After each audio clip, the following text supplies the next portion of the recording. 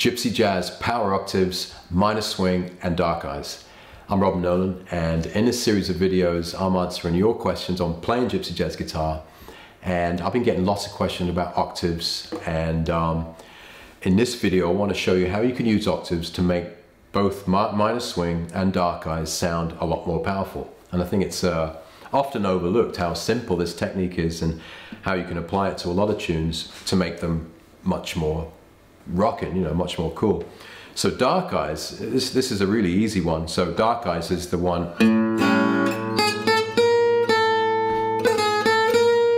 That tune.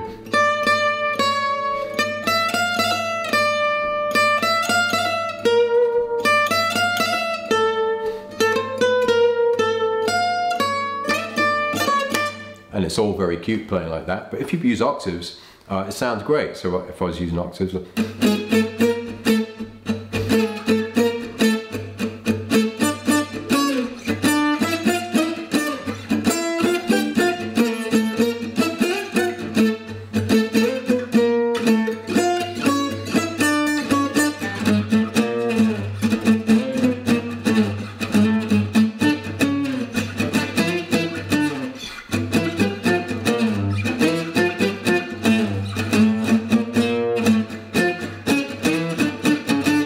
basically, because it's such a simple tune, um, it, it's it's a good one that makes it it makes sense to use octaves on it. Gives it a lot more power. So obviously, you just want to, you know, the, out in dark eyes, you want to see where the tune is. There's the octave there on the A, so you can go.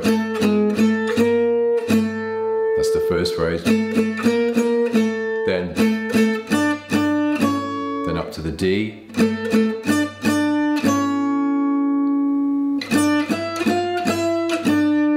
simple. You're just going to guide, you know, you know the melody, so you're just kind of adapting it to octaves.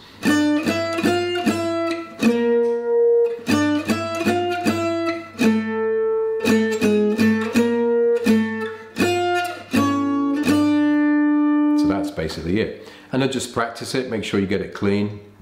Um, and it, there's, a there's a thing I use at the end of a gig, you know, if we finish Dark Eyes, we often finish it, and then start it again really slowly. And that's definitely a time you go like that. You know, like that. So that's really going to work. Even if it's really fast.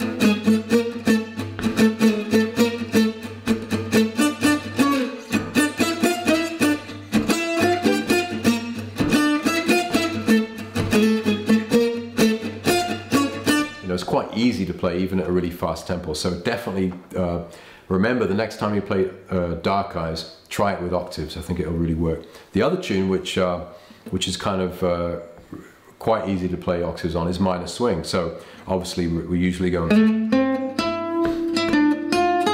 you go.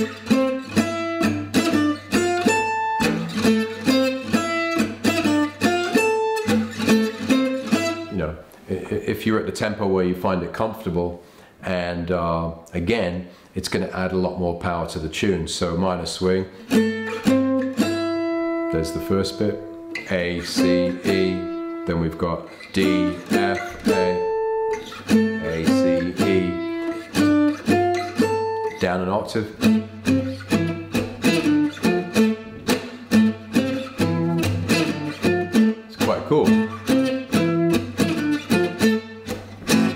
like that. Um, and then at the end of the tune,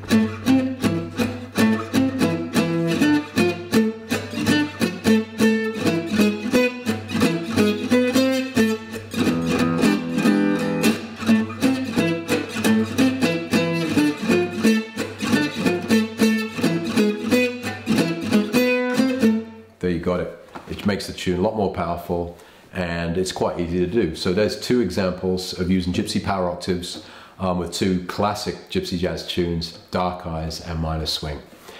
Uh, if you've got a question you'd like me to answer on, about, Gypsy Jazz guitar, then send me an email, questions at gypsyjazzsecrets.com. And don't forget to give me a like for the uh, video and share it with your friends. And I'll see you really soon in another video. Hey, it's Robin. Did you like that lesson? If you did, you can do three things right now to continue your journey into Gypsy Jazz. Number one, you can subscribe to the YouTube channel. And I hope you do because every week I can send you a new video answering your questions into Gypsy Jazz guitar playing. Number two, you can download your free issue of Gypsy Jazz Guitar Secrets magazine, and you can do that by clicking here or going to gypsyjazzsecrets.com. And number three, you can check out my Gypsy Jazz Transfusion Club, and you can do that by going here, clicking on the button, or go to gypsyjazztransfusionclub.com. So if you'd like to do any of that, just click on these buttons, and I look forward to seeing you in another video really soon.